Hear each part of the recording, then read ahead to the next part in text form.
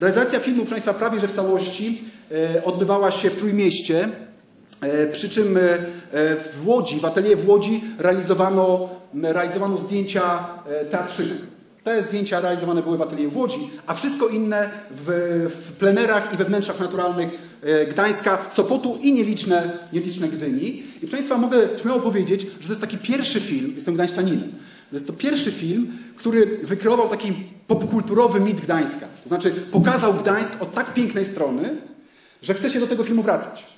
E, Bez wątpienia było tak, i tu spoglądam na pana Janusza Laskowskiego, że wtedy były partie Gdańska, które były zniszczone. Tak, które były mocno zniszczone. Gdańsk, jak pewnie Państwo wiecie, był podobnie nie wiem, jak Wrocław i, i Warszawa, może trochę w mniejszym stopniu, ale był bardzo mocno zniszczony. 90% e, jego substancji, e, tej sub- substancji urbanistycznej zostało zdegradowanej po wojnie i, e, i realizatorzy wybierali te co smaczniejsze kąski, tak można powiedzieć.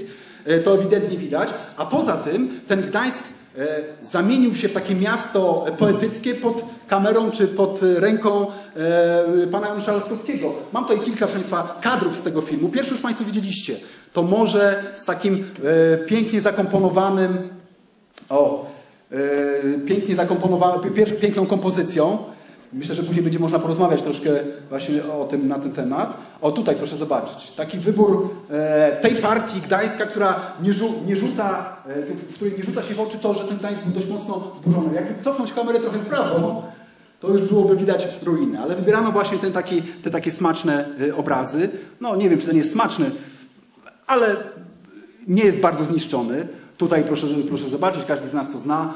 Morze, no, jakieś wykorzystywanie e, istniejącej architektury, to akurat jest na, na, na fasadzie kina Neptun czy kina Leningrad dawniej, jakieś cienie na, na, e, na, na ścianie. W każdym razie, gdy się ten film ogląda, to ma się takie wrażenie obcowania z czymś pięknym i takim, co, co, co nasyca ten Gdańsk, czy w ogóle Trójmiasto czymś bardzo poetyckim. O tak. I to jest właściwie, Państwa, pierwszy taki film, który wykreował mit, taki popkulturowy, filmowy mit e, Gdańska, choć w tamtym czasie Gdańsk, czy w ogóle Trójmiasto, stało się w pewien sposób mekką dla filmowców. Dość powiedzieć, że e, w, e, w 1957 roku słynny dokument e, Sopot 57 zrealizował e, e, Jerzy Hoffman, a krótko wcześniej e, swój słynny film Dwaj ludzie z szafą, o którym Państwo pewnie słyszeliście, zrealizował z kolei Roman Polański, też w tych, w tych samych plenerach. Więc dla mnie, Państwa, to jest niezwykle ważne.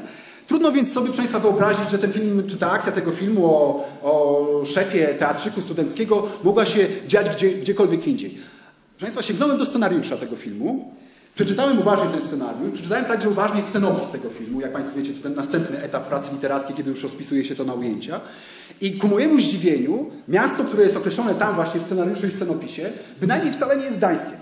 Więcej, z tych określeń takich topograficznych, które się pojawiają w tym, w tym scenariuszu, takich na przykład jak y, jazda dookoła rynku królewskiego, to czujecie Państwo, prawda?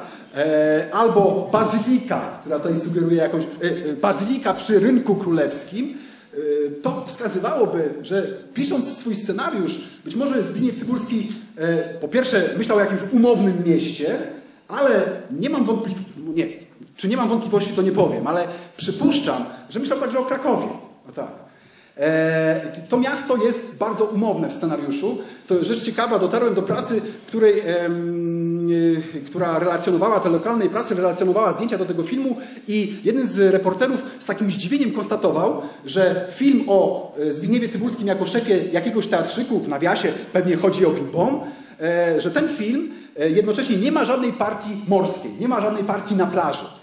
E, Reporter się dość mocno e, dziwił. Oczywiście, proszę Państwa, scenariusz, scenopis sobie, a e, rzeczywistość sobie. Ostatecznie na planie zagrał ten Gdańsk, zagrało morze, pojawiły się sceny, sceny morskie i dzięki temu no, mo, mogę powiedzieć, że dzisiaj jest to taki pierwszy piękny film, który kreuje ten poetycki, poetycki obraz Gdańska, ale to ciekawe, że, że tak to wyglądało.